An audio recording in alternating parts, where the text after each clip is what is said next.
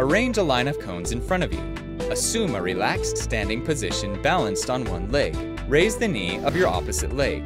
This will be your starting position. Now hop forward, jumping and landing on the same leg over the cone. Use a counter movement jump to hop from cone to cone. At the end, turn around and go back on the other leg.